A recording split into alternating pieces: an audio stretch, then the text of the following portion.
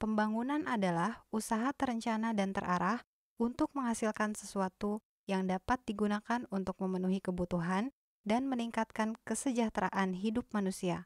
Sumber daya yang dapat digunakan sebagai modal pembangunan yaitu sumber daya alam, sumber daya manusia, dan teknologi.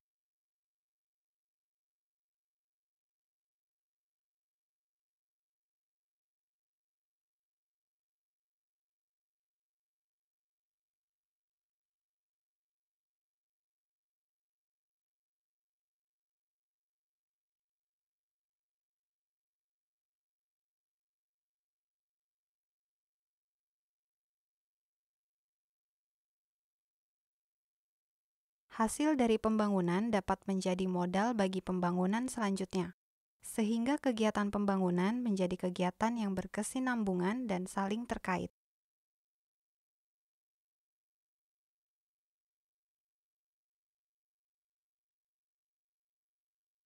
Proses pembangunan dapat digambarkan dalam bagan berikut ini.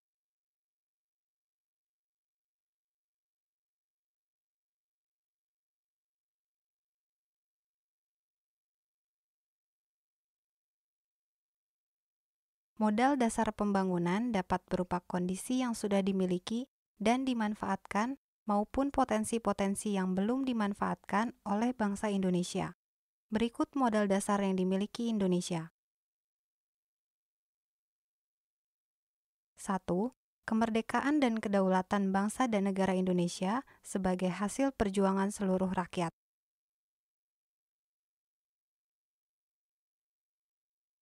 2 jiwa dan semangat persatuan dan kesatuan bangsa.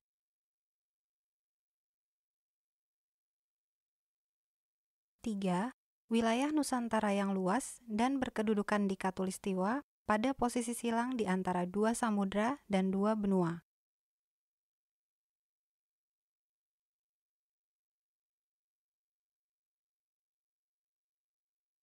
Empat, kekayaan alam yang beraneka ragam di daratan, laut, dan udara dimanfaatkan secara bertanggung jawab untuk kemakmuran rakyat.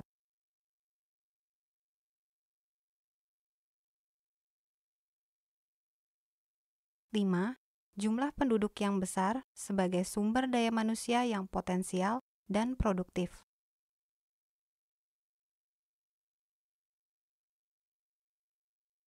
Enam, Tentara Nasional Indonesia dan Polri sebagai kekuatan pertahanan dan keamanan.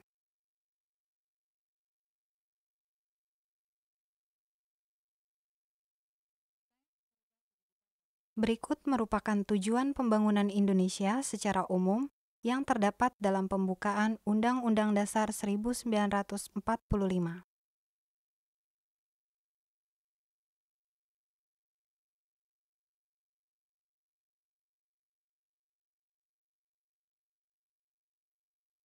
Tujuan pembangunan bukan hanya pembangunan kebendaan atau fisik saja, namun terdapat tujuan pembangunan non-fisik berupa kecerdasan, kedamaian, dan kesejahteraan. Pembangunan kebendaan atau fisik merupakan sarana untuk mencapai pembangunan non-fisik.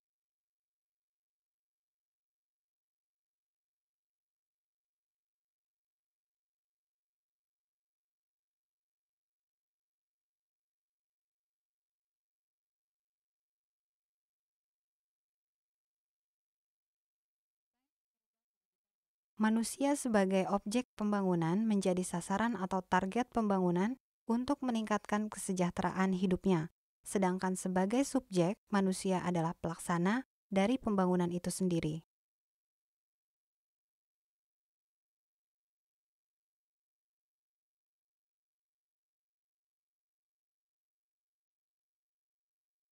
Target atau tujuan pembangunan dapat berupa fisik dan non-fisik.